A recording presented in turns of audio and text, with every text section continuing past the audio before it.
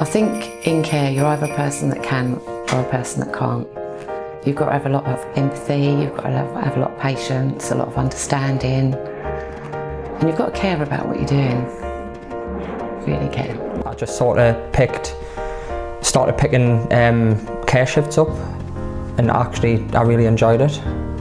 Um, like the interaction with the residents and just went home at night um, like thinking I've helped someone and it gives like a good feeling. So that's how I that's how I got it, got into the care side. I've read one story about a gentleman who's um, the D-Day landings. He was there for 69 days and he fought for his country and I never knew that until looking through his memory box and that was down to the families engaging with were and putting that and how proud that way I'm looking after those people who fought for this country. They've all got a story to tell and I want to share them and I want to be proud and like I say and for them. It sounds bizarre, but I really do love my job. I really do. It's going to be ups and downs, but I really love my job. And I just like, it was something different, elderly care. That's why I applied for, like, and I was quite passionate as well, like to see I can make changes, I can make difference. But it's a lovely family atmosphere in the home. It's a lovely place to work.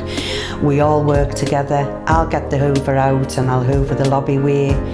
You know, it's we work as a team and it's our residents' home and we're privileged to be here looking after them. And I was just interested in um, developing communication, talking to people, learning more about people, but learning about their individual history, learning about them as a person.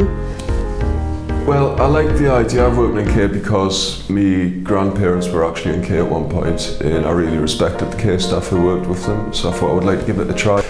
Tried it and I just fell in love with the job. I don't think there's any other job in the world like care. It's just completely unique. And working with people with dementia is just, it's so rewarding and, you know, I feel as if I've done something for them. Anyway, I think giving someone dignity and care till the very end is the best you can do.